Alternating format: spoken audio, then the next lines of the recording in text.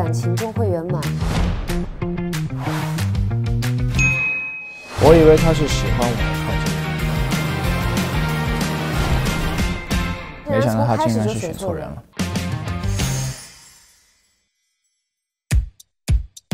郑书意和呃石烨呢，可以说是一对欢喜冤家，相爱相杀。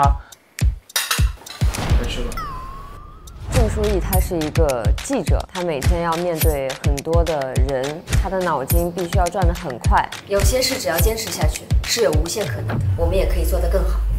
实验搞金融的嘛，有自己的理想抱负，对工作对自己职业非常高的专注度和非常高的要求。未来，希望沈总带领乐安走得更远。两个人从事的职业和两个人的这个工作是非常契合的。我是财经界记者郑书意。一个是打射手的，一个是打辅助的，非常配合默契的，在一个战线上。好。其实实验对郑书意时有那种一见钟情的感觉。当见到郑书意第一面的时候，其实对这个女生就留下了比较深刻的印象。干什么？我想说说我的酒店。但是郑书意对实验开始肯定是有一些带着目的性去接近他的，是为了要去气自己的前男友嘛？石总，石总，石总，石总，我可以追你吗？我没被人这样抱过，不过我觉得你很有潜力，从第一个对你说我的虽然看似是郑书意主动的在接近实验，其实实验每次都是在呃反套路、见招拆招的那样交流。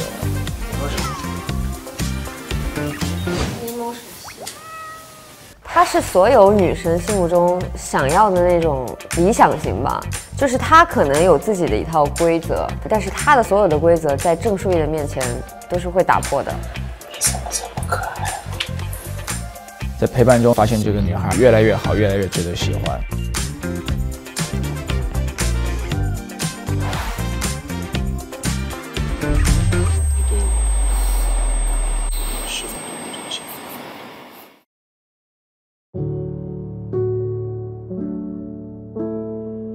我就是不想再骗他。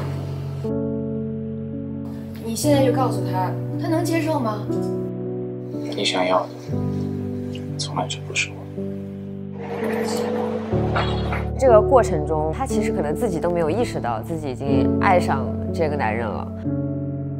就是知道了这个误会了过，其实有点那种不破不立的感觉。可能一开始的这个误会还没有发生之前，他能真真切切的感受到的和郑书意的这些相处是真诚的，可能是真实的。你怎么过来？跨过了流言的高墙，见证了彼此的真心，呃，最终走在一起。我印象深刻的是结婚那一天，因为那天来了所有的亲朋好友。那天我们真的在那敬酒，在那里送客的时候，我就说，感觉好真。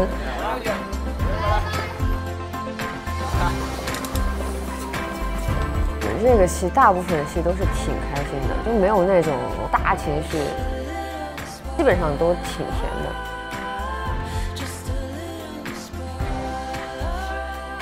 我喜欢你。其实我觉得以爱为营和现在的年轻人谈恋爱的这种感觉是很贴合的，所以大家看以爱为营的时候，一定会给你带来开心、愉快，同时也能帮助你收获甜蜜的爱情。